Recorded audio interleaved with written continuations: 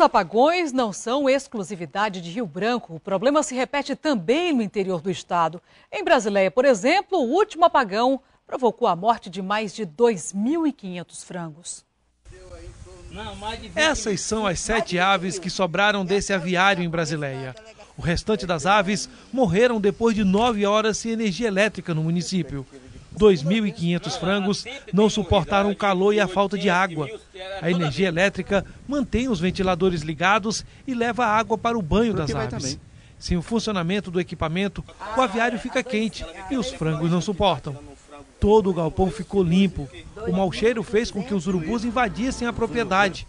Os proprietários perderam quase 20 mil reais. Quando a gente vê a renda da família na situação que vocês estão vendo aí, para nós é uma tristeza, porque você sabe que a barriga da gente não espera, não. A gente tem que comer todo dia. Se você não tiver como, você não, não, não, não tem como sobreviver. Não é a primeira vez que os produtores perdem aves por causa do corte do fornecimento de energia. Este ano já foram mais de 10 mil frangos.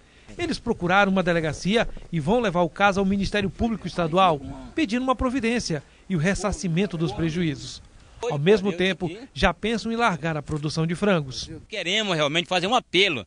É, a Eletroac ela tem que responder por isso, porque nós não podemos ficar com prejuízo. Sempre nós estamos com prejuízo, nós não podemos continuar com esse prejuízo. Então nós esperamos é, esperar realmente que a justiça possa tomar providência e possa realmente tomar, é, é, é fazer com que os produtores não sofram tanto. Não é só nós que estamos passando por isso, não. Todos os produtores de árvore estão sofrendo por a falta de energia e não tem condição de começar é, continuar trabalhando dessa forma. O corte do fornecimento de energia é uma constante em todo o estado. A Eletroacre já mudou de nome, agora é Eletrobras, mas não resolve o velho problema. Na sexta-feira, em Rio Branco, sete bairros ficaram sem energia durante 12 horas. Isso aconteceu sem a Eletrobras dar nenhuma explicação. Moradores revoltados foram às ruas e fizeram as reclamações que são de praxe. Prejudica a gente, né? Carne, a gente tem carne no freezer aqui, a carne estraga. Aqui a gente não vende o mesmo tanto que a gente vende no dia que tem energia. É, desde o meio-dia tá, a gente está assistindo o jornal aí que faltou energia até agora. Este proprietário de uma panificadora no bairro Tancredo Neves teve um prejuízo de R$ 1.200.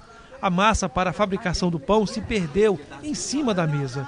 Sem energia para a geladeira, a massa estragou. Perdido também ficaram os produtos que estavam no balcão, os sorvetes derreteram. Os casos mostrados são reclamações pontuais. A questão é que todo o Estado sofre com o serviço oferecido pela Eletrobras. Com a palavra, os nossos gestores e políticos.